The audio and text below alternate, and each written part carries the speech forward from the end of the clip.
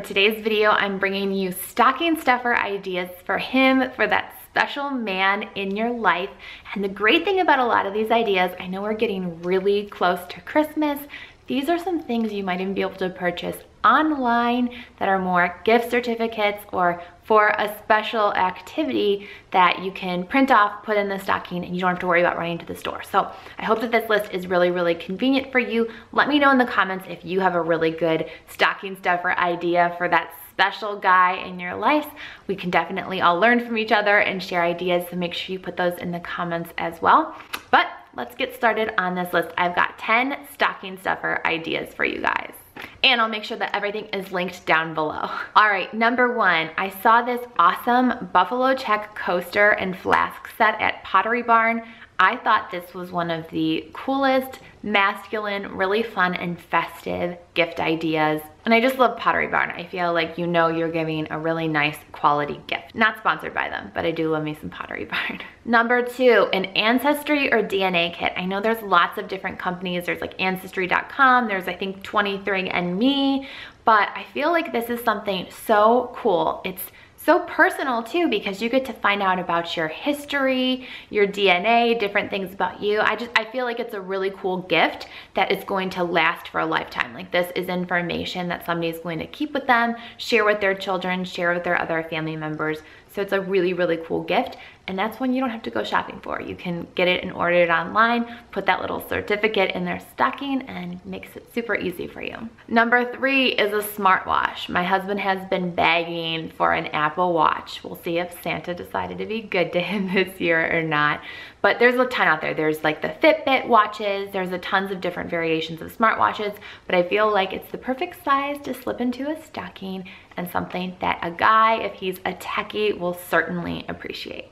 Number four, this is another one that's really convenient. You shouldn't have to leave your house, but getting some sports tickets or concert tickets, whatever sort of venue is in your local area, look up what's coming up over the next coming months or year. If there's any really good football games, basketball games coming up, maybe some really cool concerts coming into town, getting those tickets for a fun event would definitely make your man happy. I know my husband, I mean, whether it's sports or music, he's obsessed with both. So that's definitely a gift Either way, Adam would appreciate. Number five are these touchscreen gloves. Now, maybe this wouldn't be good for you if you do live in warmer weather, but we're freezing here in Cleveland, Ohio. And obviously you wanna stay warm when you're outside, but you still need to be able to function and use your phone. So that's why I love these touchscreen gloves. They're super, super practical and perfect size for a stocking. Number six, I'm not gonna lie, my husband helped me with this idea because I was asking him what he wanted Santa to bring him. But you could get a gift certificate, again, so you can print this off, put it in the stocking, super easy, nothing you actually have to go out and purchase.